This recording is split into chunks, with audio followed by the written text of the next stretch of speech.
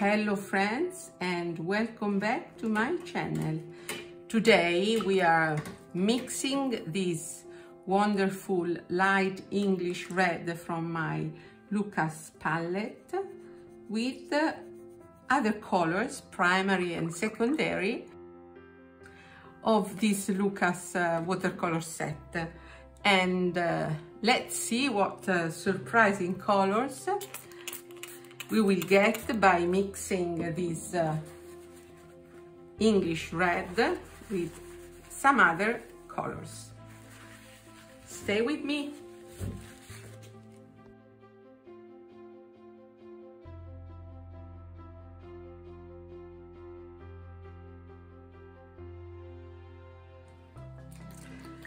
Let's start from primary colors.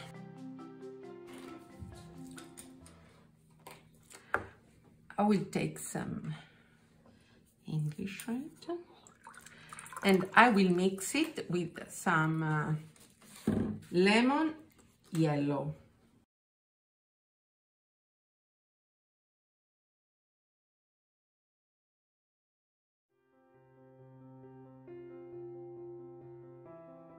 The yellow gives immediately some light to this English red.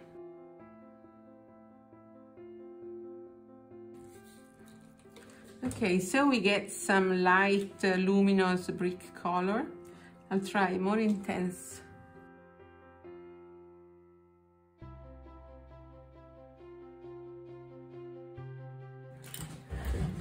Let's go now to red, the second primary color. So my red is red, I will choose Lukas Red which is a permanent red. Typical primary color here.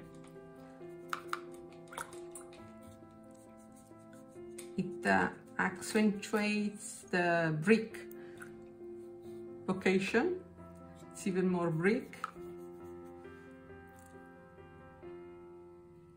Okay. And this was with the red you know, we get some interesting warm pinkish tones and some deep uh, reddish brick that compared to the original, the original is slightly colder, so it makes it warmer. Let's go to blue now.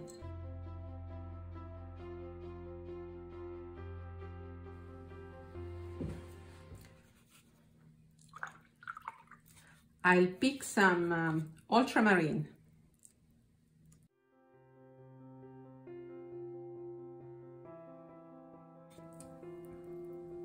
This is the original. So you see, it uh, immediately immediately mutes it down. It desaturates the blue to a nice uh, muted blue. Set some more. Here it has a purple undertone.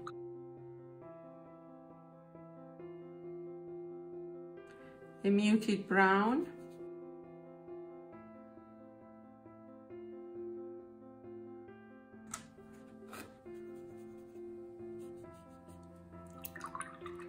And I pick uh, Indian yellow, a very warm yellow. You see, Indian yellow, it's a warm yellow. Let's see what it gives. I think that I would like to reach a sort of quinacridone gold. Let's see, more yellow.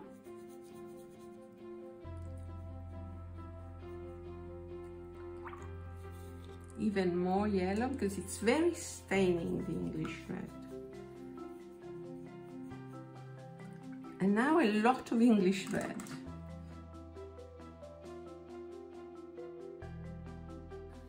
Now let's go with yellow ochre.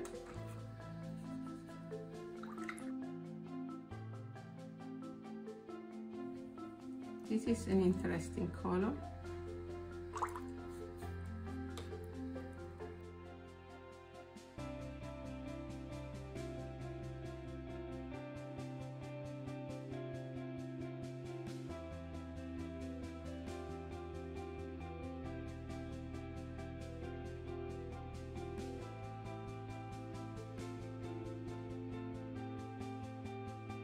Try now with the pink. I would like to try an opera rose. Here we have the genuine rose, which is um, basically an opera rose. Here, you see? Opera rose against my English red. Some English red. Mm, yes, a rose, slightly rose undertone. I will apply more opera rose. This is a very nice dark peachy color. Very beautiful.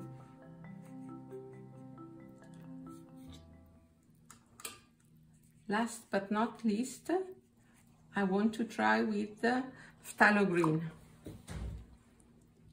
Okay, phthalo green is a cold, pure, single pigment green. It goes uh, to a dark brown, look, a dark, cold brown. Now more green. Mm, this is a beautiful muted green. It saturates the green beautifully. Mm, almost, it's almost a burnt sienna. This is a lovely combination. Let's uh, let's wait until my swatch is dry. Perfect. Now the swatches are dry and we can draw some considerations. First of all, I suggest to everyone to play with the swatches and mixes when uh, you have a creative block or you may be bored because um, you get some very unexpected results. Let's start from the last one, which is on top, phthalo green.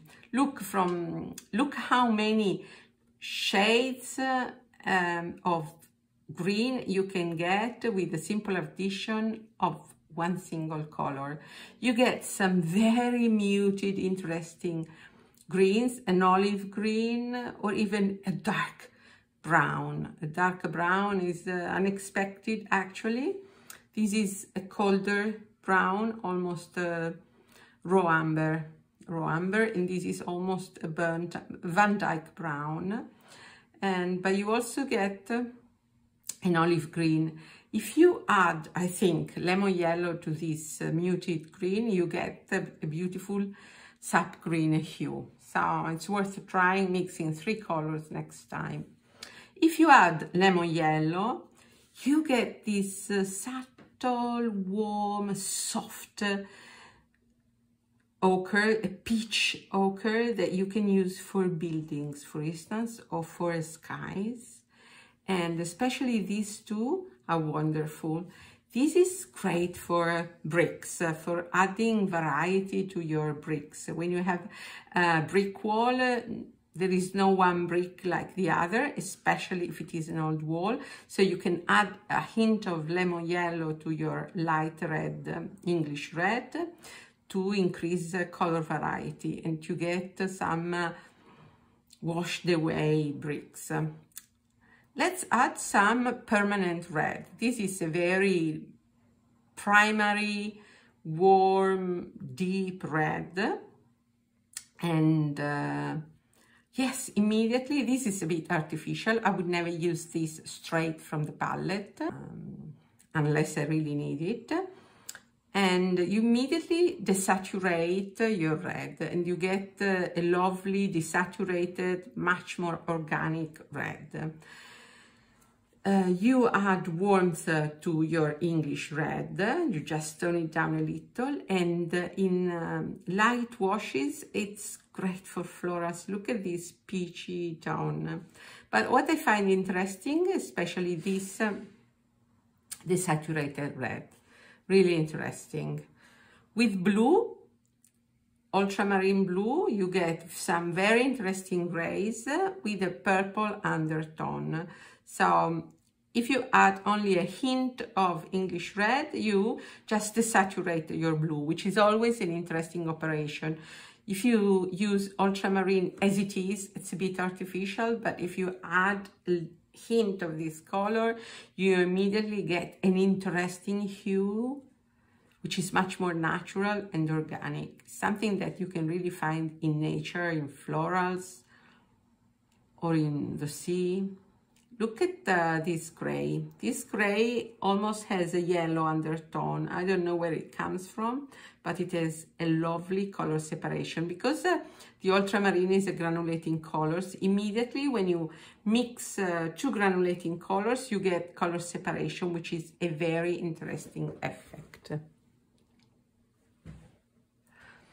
Here also the purple is interesting, but even the hues uh, where the brick is prevailing. It has an interesting gray undertone which tones it down and makes it more natural and pleasing to the eye. Now, one of my favorite is uh, the mix with Indian yellow. Once again, we get some peachy, um, some peachy mixes, as in uh, lemon yellow, but they are more intense, the warmer, they are very soft. They're very interesting. You have um, what we call in Italian terracotta. Terracotta is a very interesting color that uh, you can use for buildings and bricks, uh, but especially for buildings, Mediterranean buildings. And um, uh, you get very interesting uh, mixes. With yellow ochre, you get a sort of gold. So if you add just a hint of English red to yellow ochre, you make it golden. And you have this um, golden ochre that if you don't have a golden ochre in your palette, you know how to produce it with just uh, the addition of this English red. And now the Opera Rose. Opera Rose, uh, it's a fugitive color, so I don't use it so much. But uh, if you just uh, sketch in a sketchbook, you don't have to hang uh, your works or sell your works. Look at uh, how interesting the mixes are. You get some uh, deep warm rose and uh, you get some colors that once again are very interesting for buildings. Many buildings in Italy have this rose, warm rose hue holds true for the whole Mediterranean area, for the south of France. You, you can find many houses with this uh, range of shades. And uh, it also can help to make the English red, which is by nature a bit opaque, it makes it more transparent uh, if you just add a hint of opera rose. Mm, you can have a lot of fun with this type of mixes. So maybe you can let me know in the comments uh, if um, you have tried mixing this color as well. And uh, I'd love to hear from you what is your experience in mixing English Red, which is, as you know, made with PR 101, one of my favorite pigments. Thanks a lot for having watched this video with me and do not uh, hesitate to like and subscribe to my channel if you don't want to miss my next video. Ciao from Italy!